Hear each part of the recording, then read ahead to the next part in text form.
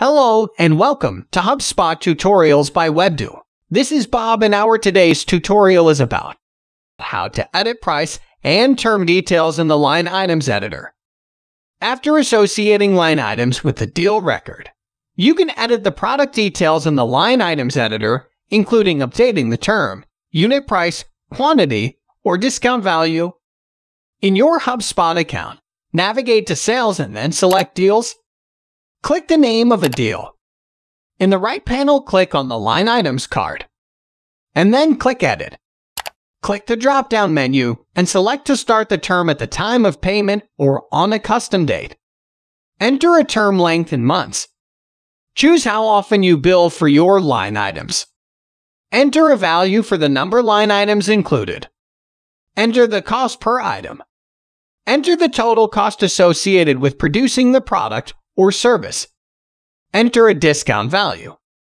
You can enter a discount value as either a fixed amount or a percent.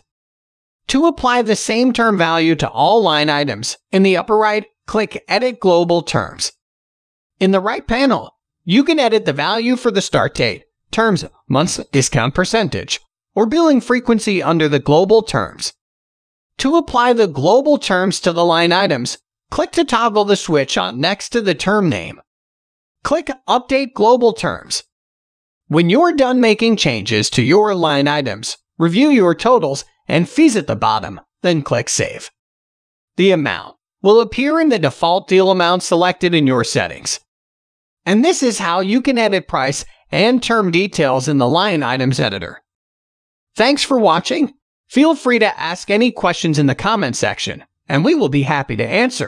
If you like the video, give us a thumbs up and press the bell icon to subscribe to our channel. To know about our HubSpot services, visit us on www.webdew.com.